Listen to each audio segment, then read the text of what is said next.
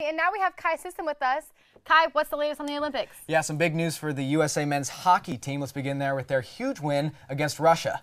The classic Olympic rivalry brought fans to the edge of their seat as TJ Oshie made four of six attempts in a shootout that shocked the Russians and left Sochi, Sochi speechless. USA was the underdog going into the games, but have turned out to be the highest scoring offense so far. The US of A is set to play the Czech Republic in the quarterfinals and are favored to win. Back here in La Mirada, the Biola men's tennis team had a rough match against the number three team in the GSAC conference, Vanguard University. Players Lucas Lee, Taven Townsend, Brandon Chang, Roderick Pence, and Isaiah Picari all lost to their Vanguard opponents in singles. The Eagles dug their hole even further, losing all three of their doubles matches against the Lions. Biola Baseball had a sweet win against Corban University at home after a rough weekend against the University of San Marcos, where they lost both their games in the doubleheader. At the Eagles diamond, Tyler Bernheis I'm sorry, Bernheisel threw seven and a third innings of one-run ball against the Corban Warriors.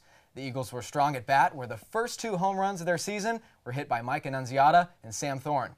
We caught up with Coach Sellinger on the big 7-1 win. We played well on Friday, and we played like that again today.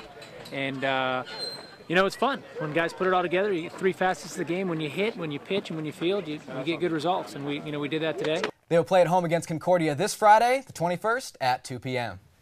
Ky, I love going to Biola baseball games. So do I. I had a great time. You know, my good friend P. Slater three brought me into the dugout to shoot some video for the yeah. show, and he was telling me a little tidbit about about dugout culture. Okay. So when they hit their home runs, crowd goes nuts, and as the players round in the bases, round in home plate, uh, the the team's not cheering in the dugout. It's like they don't even care. They're just sitting there doing their thing. The second the player comes into the dugout, he sits down. The dugout goes crazy. It's called the silent treatment. I guess it's just a baseball thing.